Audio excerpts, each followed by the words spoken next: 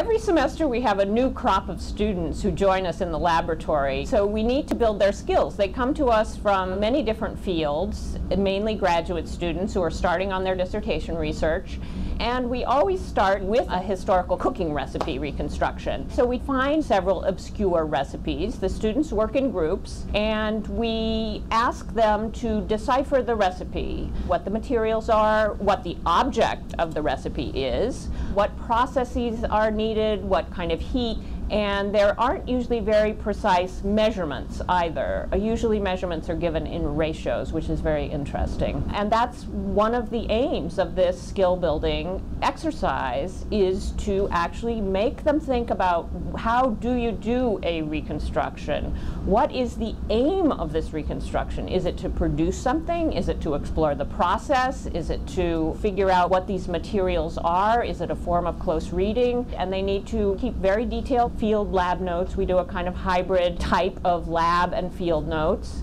And then they bring their product into the class. So we've had, for example, snow. snow is actually a kind of meringue which is poured over fruits and things in the 17th century. We've had excellent mustard. We've had an excellent cake. So the students prepare a presentation on their process, and out of those presentations, we formulate a reconstruction template or a set of guidelines which guides the students for the rest of the semester in reconstructions. And then we eat the products, if they're safe. From historical culinary recipe uh, reconstruction, we go on to some of the things that are found in the manuscript. For example, bread molding.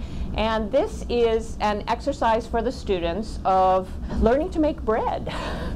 there are very, very few recipes for French bread, um, well, for French bread, for any kind of bread at this period, uh, because of course everybody knew how to make it or you bought it from your baker. So they have made bread molds. This is a recipe in the manuscript for making bread molds in order to test out a sculptural pattern or a pattern for a portrait medal or something like that. And this is another unlikely process but in fact, you get tremendous detail. The author practitioner advises pouring wax and sulfur to test out the pattern. In the first year, we had a group of students working on many of the sulfur and wax casting recipes in the manuscript. For adding pigments to the um, sulfur and wax in order to make it a better way of seeing what kind of detail you could get.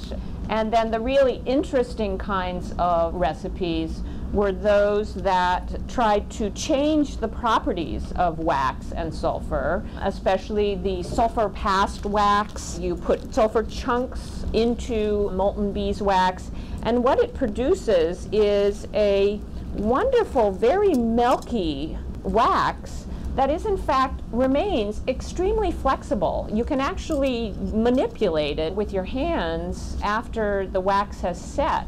Uh, so other skill building exercises that we've done have been preparing a canvas from linen, sewing it, stretching it on a frame, and then producing a small detail of a still life. We've also actually prepared a wood panel painting with nine layers of gesso made from rabbit skin glue and champagne chalk. And it took them about 10 days to actually produce the panel, but it's a beautifully smooth panel when it's finished. So these are just some of the ways that we take them through the skill building portion of the course. It takes about six or seven weeks. We usually have an expert practitioner practitioner come in to lead us in these exercises. So this is just one example of the way that the students go from the kind of skill building that we provide and then they find their own focus of research, often with very, very interesting results.